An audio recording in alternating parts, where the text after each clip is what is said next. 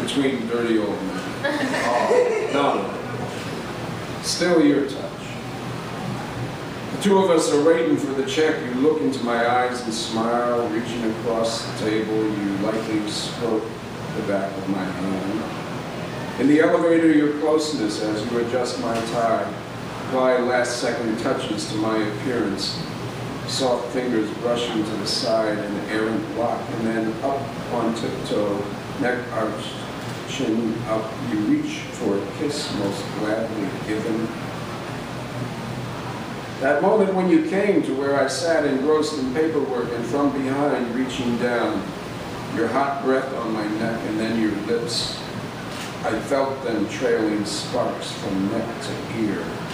And then your wet, sweet kiss, and from behind, you wrapped me in your arms as I leaned back, reaching across and around to Cradle your head against my own head, lips, hands, fingers.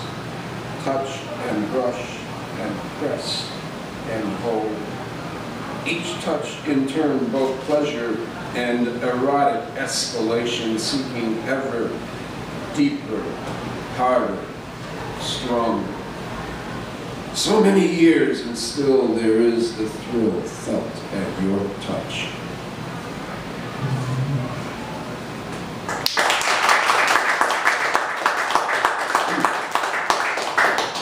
alone together, first moments. Years later, I recall a teasing pinch before your arms wrapped round me. My fingers softly scratching faint red lines on down, your yielding back as you lean into me expectantly. A scent of apple in your hair wakes my stallion thoughts and fills my flaring nostrils as looking up into my downward gaze you tilt your chin and open upturned mouth to meet my lowered lips, now gently biting, briefly holding. Before your lips pressed hard their gained advantage, a sudden fierce arousal as your tongue flips serpentine, so lightly, so electric, against my own.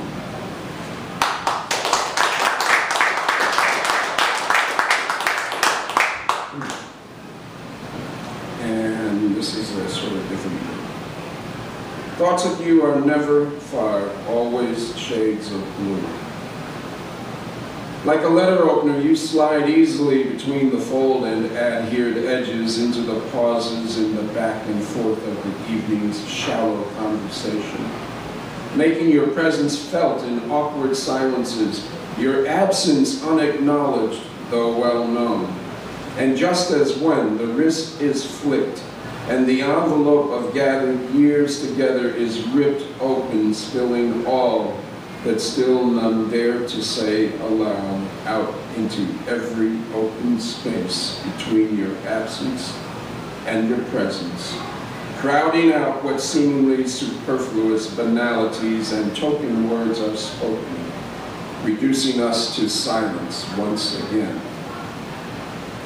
That you yourself are absent shouts out very loud in silence and echoes through these now unneeded rooms and lonely halls. I gaze at every wall you painted, all but shades of blue, a style for fate to imitate, foreshadowing this heart on losing you.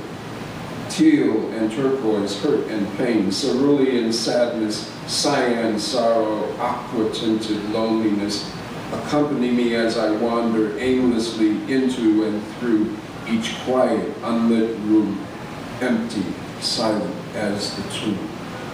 How could you or I have known that life and love would end so soon, spilling out so many shades of blue an unmelodic melody, a tuneless tune.